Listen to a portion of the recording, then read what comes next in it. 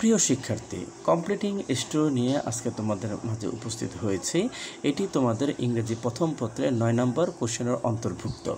এই কোশ্চেনে একটা গল্পের শুরুর কিছুটা অংশ, এরকম শুরুর কিছুটা অংশ তোমাদের সামনে উপস্থাপন করা হবে এবং কোশ্চেনের নির্দেশনা অনুসারে তোমাদের ওই কোর্স গল্পটা শেষ করতে হবে। তাহলে এখন শেষ করতে হবে, কীভাবে করব? কমসে কম দশটা সেন্টেন্স লিখব। কোশ্চেনে তোমাদেরকে দশটা সেন্টেন্স লিখতে বলা হবে। অনেক সময় দশটা সেন্টেন্সের মাধ্যমে গল্পটা শেষ করা সম্ভব হয় না।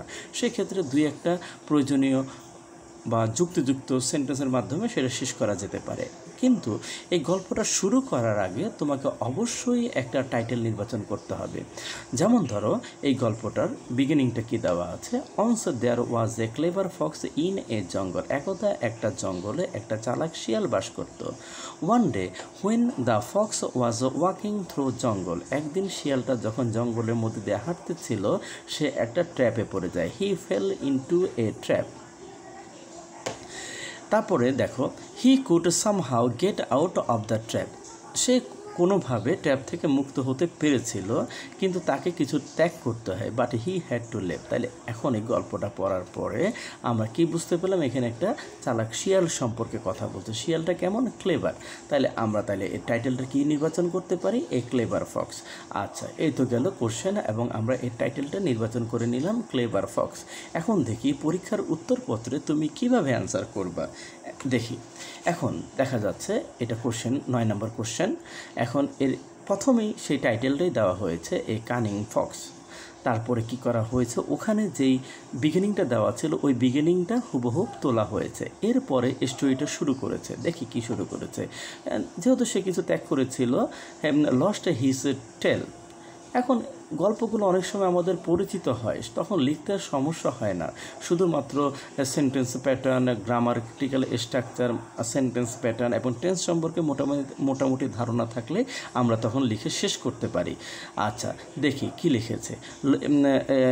He had to lay lost his tail without the tail, the fox looked strange. He felt sad and ashamed. তাহলে এখন লেসটা ত্যাগ করতে হয়েছিল লেস ছাড়া তাকে কেমন দেখাচ্ছিল? অদ্ভুত দেখাচ্ছিল, সে লজ্জিত হচ্ছিল, সে দুঃখ পেয়ে পাচ্ছিল এবং লজ্জিত হচ্ছিল। তাই সে কী করতেছিল? চিন্তা করতেছিল আর চিন্তা করতেছিল এবং একটা প্ল্যান বের করেছিল। তারপরে he called a meeting he called সে একটা মিটিং ডেকেছিল a meeting of all the foxes in the jungle. When all the foxes came to the meeting, সে জঙ্গলের সবার, সব শিয়ালদের একটা মিটিং ডেকেছিল। যখন সব শিয়াল মিটিংয়ে এসেছিল the fox feel the fox without the tail filled pleased আনন্দ পেয়েছিল এবং বলেছিল, এখন দেখো, এখানে ইনভার্টেড কমা দিয়ে শুরু হয়েছে I have made a great discovery what use are the tail. আর সে একটা ডিসকভার করেছে এবং বলতেছে, আমাদের এই লেজের কী দরকার?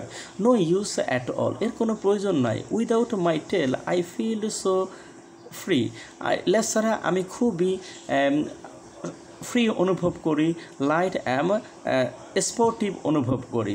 I can run faster than ever before সে কী বলতেছে? সে স্পোর্টিভ মানে সহজে চলাফেরা করতে পারে, হালকা, এবং সে মুক্তভাবে চলাফেরা করতে পারে, এবং আরও কি বলে? সে খুব দ্রুত এখানে সেখানে দৌড়াদৌড়ি করতে পারে। So cut off you tail as I have done এখন বলতেছে তাই, তোমরাও লেসটা কেটে ফেলো যেমন আমি কেটে ফেলেছি। ঠিক আছে। এখানে দেখো, এটা আবার পুরোটা প্রেজেন্ট টেন্সে কারণ এখানে এই ফক্সটা যে কথাটা বলতেছিল, বলেছিল, সেটা ডাইরেক্ট ডাইরেক্ট স্পিচে এখানে তুলে ধরা হয়েছে। তাহলে এখানে ন্যারেশনটা একটা খুবই ইম্পর্টেন্ট বিষয়। আর প্রথম অংশে দেখো, এখানে দেখাচ্ছিল লজ্জিত হচ্ছিল, চিন্তা করেছিল, ডেকেছিল, এগুলো পুরোটাই কিন্তু পাস্ট টেন্সে তাহলে টেন্সের স্ট্রাকচারটা খুব ইম্পর্টেন্ট এখানে। তারপরে the fox listen to him the foxes listened to him with attentions, and many of them welcomed his suggestions. শিয়ালরা তার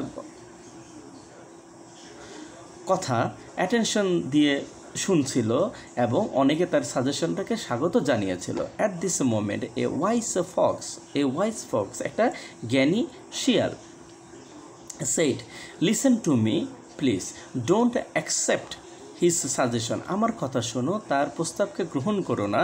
That fox fell into a trap and lost his tail now he looks funny তাকে এখন funny দেখাচ্ছে।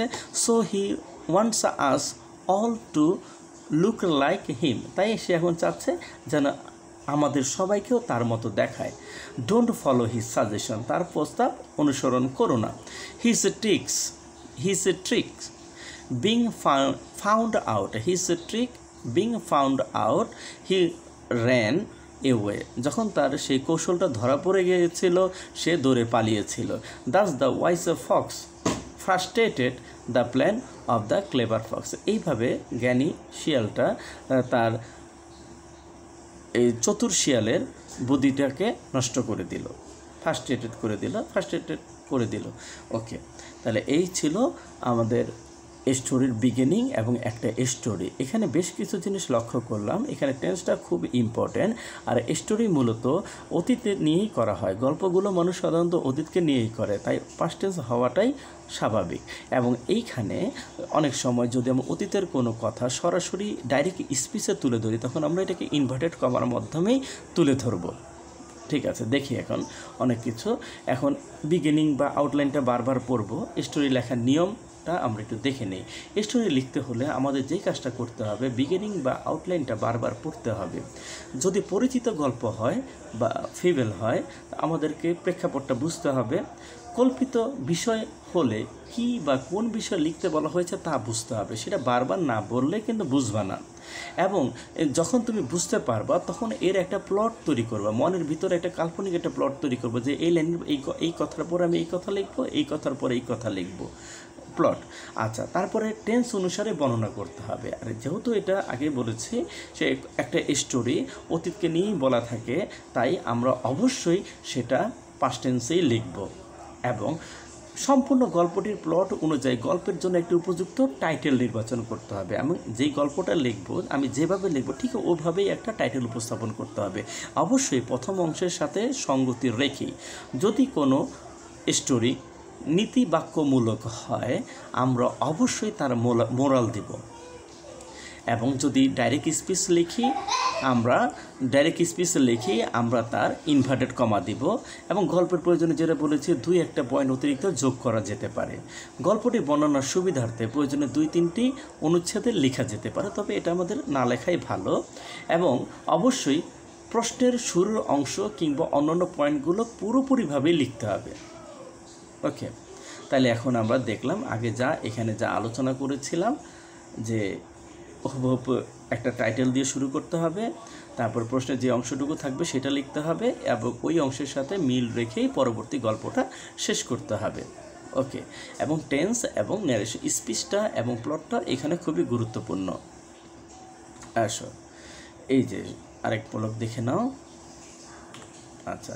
এখন outline বা beginning outline বা beginning কি? এখানে অনেক রকম আউটলাইন বা বিগিনিং থাকতে পারে। যেমন ওই প্রথমটা তো আমরা আলোচনা করলেই করলামই পরের অংশটা দেখো। দুই নাম্বারটা। On some mice are having a good time in the house of rich man একদা কিছু ইঁদুর একটা ধনী লোকের ভাষা বাসায় খুব আনন্দের সময় কাটাচ্ছিল। They always roamed about carrying and leaping even bit the child সে তারা এখানে সেখানে ঘুরে বেড়াতো কিছু চাচামেচি করতো এবং কখনো কখনো ছোট বাচ্চাদেরও কামড় দিত। তারপরে the owner of the house bought a cat to drive them away তাই কী করল? বাড়ির মালিক একটা বিড়াল নিয়ে আসলো ইঁদুর তাড়ানোর জন্য। The mice a fell into a great problem the mice a fell into a great problem ইঁদুরগুলা খুবই বিপদে পড়ে গেল। So they dot dot dot dot dot dot dot তাহলে এখানে আমরা কি যেটা দেখলাম, তাহলে এর বিগিনিং হতে পারে কি? একটু বলে নেই, আমি তোমাদেরকে ক্লু দিয়ে দিচ্ছি। আশা করি তোমরা একটু চেষ্টা করবা। এখানে ক্লুটা হচ্ছে কি, এখানে ইঁদুর আর বিড়াল সম্পর্কে। কথা বলছে। এখন ইঁদুর আর বিড়াল সম্পর্কে কথা বলছে। এখন তোমরা একটু আইডিয়া করো, এখানে বিগিনিংটা তো দেওয়াই আছে। বিগিনিং অনুসারে এই টাইটেল তুমি কি নির্বাচন করবা? পরবর্তীতে আরেকটা গল্প দেওয়া আছে, তিন নম্বরটা দেখো। The king of Iran use to visit the great poet the king of Iran use to invite the king of Iran use to invite the great poet Sheikh Saadi very often Sheikh Saadi, একজন কবি এনে very often to his court ইরানের রাজা প্রায়ই the great poet মানে বিখ্যাত কবি বিখ্যাত কবি, স্বনামধন্য কবি শেখ সাদিকে তার দরবারে ডেকে পাঠাতেন বা দাওয়াত দিতেন। Also on his way to the king's court the poet took shelter একদা রাজার দরবারে যাওয়ার পথে কবি শেল্টার মানে আশ্রয় নিয়েছিল in a noble man's house. একজন সম্ভ্রান্ত ব্যক্তির বাড়িতে আশ্রয় নিয়েছিলেন ফর এ নাইট। মানে হচ্ছে একদিন রাজার দরবারে যাওয়ার পথে কবি একটা ধনীর লোকের বাড়িতে আশ্রয় নিয়েছিলেন একটা রাতের রাতের জন্য। হি ওয়াজ দেন। তখন উনি কেমন ছিলেন? Dot dot dot dot dot dot dot. তাহলে বিগিনিং তাহলে এখন আমরা যা দেখলাম আউটলাইনগুলো বা বিগিনিংগুলো এক বা দুই বা আড়াই সেন্টেন্সে থাকে। কি থাকে? এক একটি এক এক, দুই বা আড়াই সেন্টেন্সে থাকে। দুই, এক এক সেন্টেন্সের বেশিতেই থাকে এবং পরবর্তীতে একটা নির্দিষ্ট নিয়ম অনুসরণ করে আমাদের তা কমপ্লিট করতে হয়। আশা করি আজকে এই পর্যন্তই। আগামী ক্লাসে বাকিটুকু। নিয়ে আলোচনা করব, বাকি অন্যান্য পয়েন্টগুলো নিয়ে আলোচনা করব। আশা করি আগামী ক্লাসে তোমরা আমাদের সাথে যোগ দিবা, আমার সাথে যোগ দিবা। আমরা সবাই একসাথেই বিস- বিস্তারিত একটা স্টোরি সার্থকভাবে সম্পূর্ণ করার জন্য যে পয়েন্টগুলো দরকার হয়, সেগুলো নিয়ে আলোচনা করব। ওকে, আগামী ক্লাসের জন্য আজকে এই পর্যন্ত বিদায়। আল্লাহ হাফিজ।